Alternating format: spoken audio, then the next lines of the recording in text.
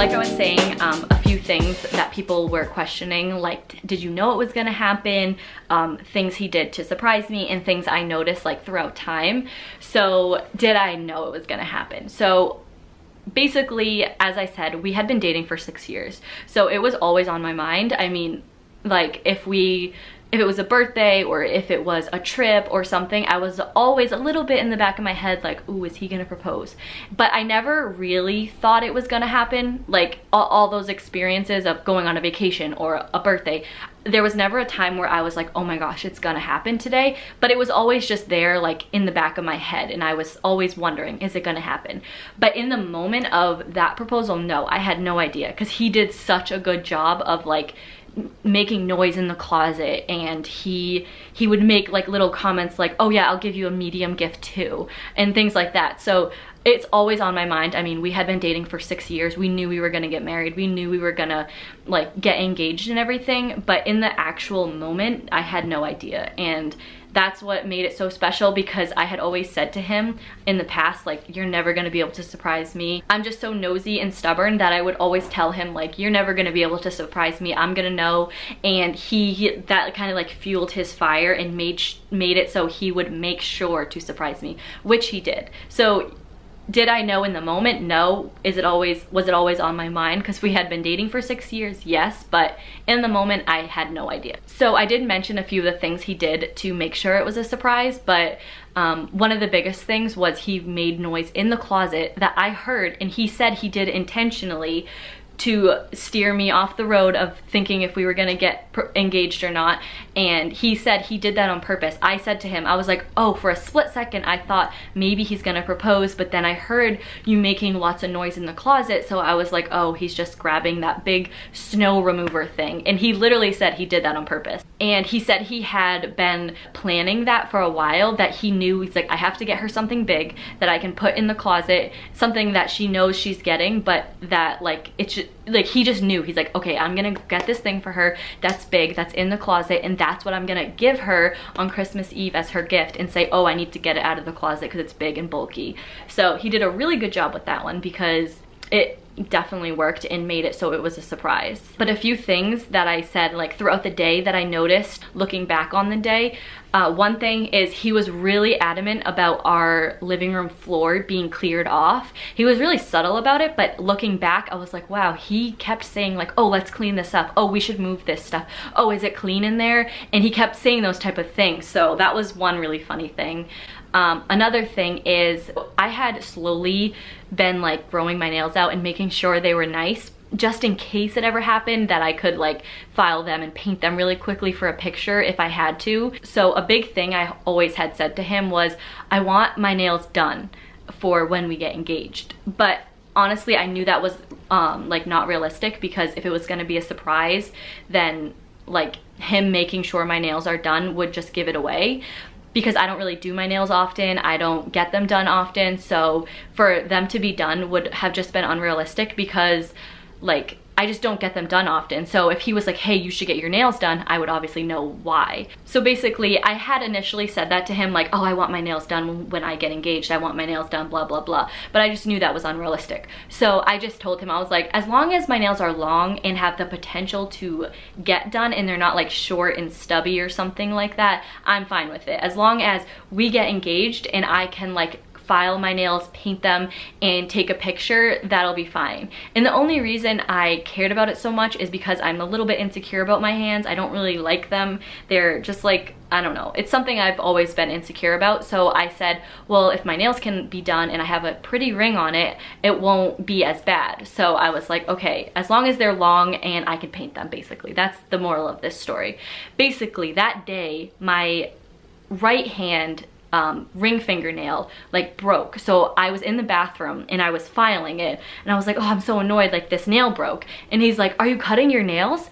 And he like cared about it so much. He's like, are you cutting your nails? And I was like, no, I'm just, I'm just filing this one nail down because it broke, um, but the other ones are fine. And he wasn't sure if like the nail that broke was the nail that was the finger that the ring would go on. So I was like, oh no, I'm not, I'm just filing this one down. And, and to him, he said, he was like, oh phew, she's not cutting all of her nails and they're gonna be short and stubby like she doesn't want for when she gets engaged or proposed to.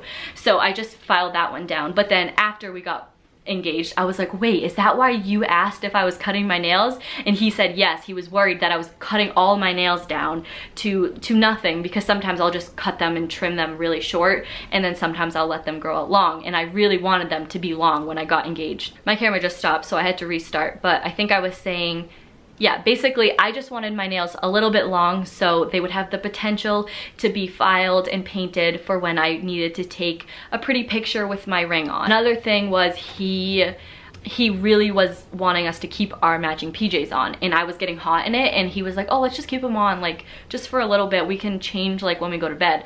And I was like, okay. And I just kind of let it go. I was like, okay, yeah, I'll just keep them on. I'm a little hot, but we just opened a window and it cooled down. But then he again said later on, that's why he wanted us to keep them on because he knew he was going to propose and he wanted us in matching PJs because he knew how much I would love for us to be in matching PJs to get engaged. Like that's that's who I am. That's the cheesy side of me that I love is matching PJ's corny, cheesy stuff. He knows that's what I love. So he did a good job of making sure all of that stuff happened. Um, I'm trying to think if there's anything else he did. Oh, so this is the next point that I wanted to talk about was things I noticed like throughout time, like the last few weeks or months that made me a little suspicious about if he was gonna propose we're super open with like our phones. We don't care. We don't hide anything. We have nothing to hide. So he'll let me hold his phone. I can go on anything on his phone. He does the same to me. Like if i'm like oh can i use your phone so i can search something real quick? If mine's like in the other room or charging and it's like yeah just take it. And but lately he had been being a little bit suspicious about it and he blamed it on christmas presents. He he would say like oh i don't want you to see what christmas presents i bought you. Um i don't want to i don't want you to see that and which sounds like a valid reason, but we've never been like that. Like he, if we, the past years buying Christmas presents for each other, we would kind of know some of the gifts. So if it got spoiled, like it wasn't that big of a deal. He never really cared about it that much. Like the past years, he would let me use his phone at Christmas time and he wouldn't say anything like, oh, I don't want you to see Christmas gifts. But he kind of did that this year and I picked on, up I picked up on it a little bit. I was like, hmm, he's being a little suspicious about his phone, about Christmas gifts when he's never been like that in the past. And then one time he also like opened his bank app and I was just sitting next to him and he like quickly kind of turned to the side and I was like, hmm, did he buy something and doesn't want me to see or something like that. So that was another thing. But other than those two things of him being a little bit like sketchy about his phone and that one bank app situation, he did a really good job of like keeping it a secret and not being like super like suspicious about it or be like awkward or things like that. Um, but it's actually funny because a few days before we got engaged, uh, he was saying he had to go finish up Christmas shopping. And usually in the past other years, we would go together, even if like we're getting stuff for each other, we would just like get different carts. Like if we were going to Target, we'd each get a cart and then go into Target and then meet up afterwards. And this time he's like, oh, I'm gonna go. And I was like, can I come with you? Like, I, I, I didn't have to get anything actually. I was just bored and wanted to go with him. And he was like no like i'm going to like some stores and if you see the stores like you like i just don't want you to see where i'm going. And i was like please like can i come? And he was very like no you can't come. Like i i don't want it to spoil any gifts. And come to find out the reason he didn't want me to come is because he was going to ask my parents. That's the reason and it had nothing to do with christmas gifts. He said that he was going to ask them and didn't obviously i couldn't go because i would have known but that was another thing but i didn't realize it at the time. Like I thought like, oh, he might be going to like a specific store and if I see that store, I'm gonna know what he he got me or something. So I was like, okay, like that just went right over my head. But he was actually going to ask my parents and that's why he didn't want me to go with him. I think that might be everything, all the things I wanted to talk about. So yeah, I think that's it for today's video. Um, I hope you guys enjoyed hearing my proposal story. I'm super, super, super excited to finally be engaged. I can't believe it. Um, I still feel like sometimes I'm like, wait, I'm engaged. Wait, and I'll wake up be like, wait a second, I'm engaged. So I hope you guys enjoyed. Uh, don't forget to click the red subscribe button down below and click the bell for more videos every week.